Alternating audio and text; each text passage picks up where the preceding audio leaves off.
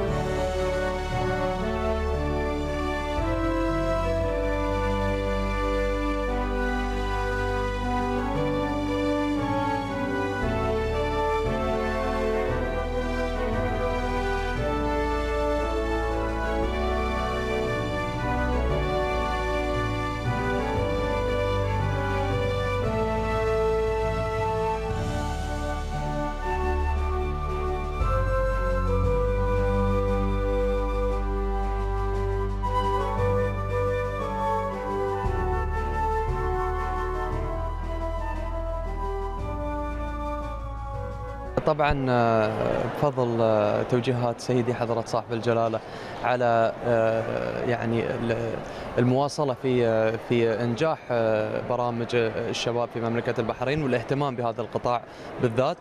الحمد لله السنة الخامسة المدينة الشبابية يعني معارضها زادت وزادت أمورها وزادوا مشاركينها. اليوم ما شاء الله أول يوم فقط افتتاح عندنا شهر أمام أمامنا يعني والناس ما شاء الله جايين ومشاركين ويانا. لكن الأهم في الموضوع هو التوعية طبعا وتوعية الشباب للمستقبل وتثقيفهم وتجهيزهم للمستقبل.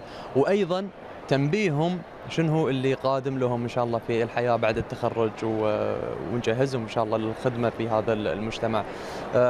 أنا حبيت أشكر كل من دعم وكل من ساهم في إنجاح هذا هذا المشروع. آه، هذه السنة الخامسة وإحنا إن شاء الله نتوعد الجميع إن شاء الله إن السنوات المقبلة بعد إحنا إن شاء الله نتطور مع كل المواكبات. سمو الشيخ ناصر تركز المدينة على أهداف التنمية الاقتصادية 2030 وأيضا على تفعيل دور الشباب، كيف لمستم هذا على أرض الواقع؟ اللي موجودين هنا اليوم الحمد لله شباب جادين في في مسألتهم. يعني حابين يتعلمون حابين يتثقفون.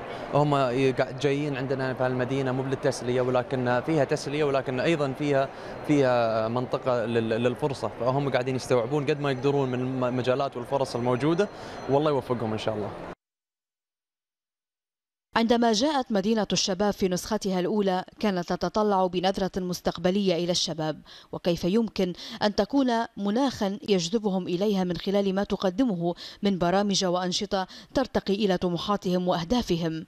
وفي كل عام عندما كان يسدل الستار عن نهاية الموسم كانت تأتي في العام المقبل بأفكار جديدة وبرامج متطورة حتى بات الشباب ينتظرها ليعرفوا ما هو جديدها.